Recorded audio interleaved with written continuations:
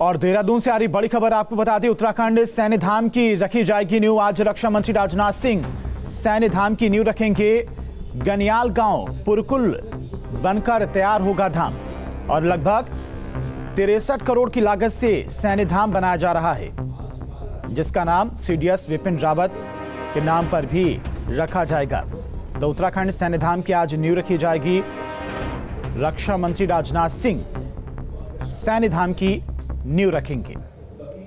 तो देहरादून में पीएम नरेंद्र मोदी के ड्रीम प्रोजेक्ट उत्तराखंड सैन्य धाम के निर्माण को लेकर तैयारियाँ पूरी हो चुकी हैं और इसी के तहत आज रक्षा मंत्री राजनाथ सिंह देहरादून के गुनियाल गाँव पुरकुल में बनने जा रहे सैन्य धाम की नींव रखेंगे और भूमि पूजन करेंगे।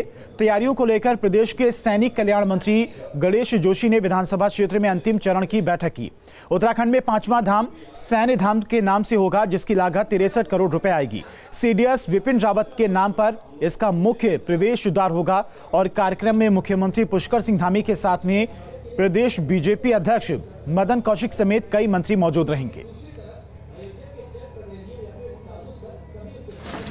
बुनियाल गाँव में होगी, जिसमें देश के रक्षा मंत्री राजनाथ सिंह जी, रक्षा राज्य मंत्री अजय भट्ट जी, प्रदेश के मुख्यमंत्री पुष्कर सिंह धामी जी उसमें होंगे।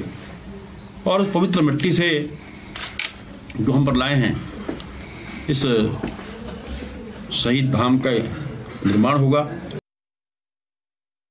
काम शुरू हो जाएगा, उनको वहाँ पर स्थापित कर दिया जाएगा। और मैं पूरे दावे के साथ कह सकता हूँ, जिस प्रकार लोग बद्री, केदार, गंगोत्री यमुनोत्री को देखने के लिए आते हैं दर्शन करने के लिए आते हैं। जब उत्तराखंड में लोग आएँगे, दो साल के बाद जब ये बनकर अपने स्वरूप में आएगा तो इस पाँचवें धाम को देखने ज़रूर आएँगे। इस परिकल्पना के साथ हम इसका निर्माण कर रहे हैं।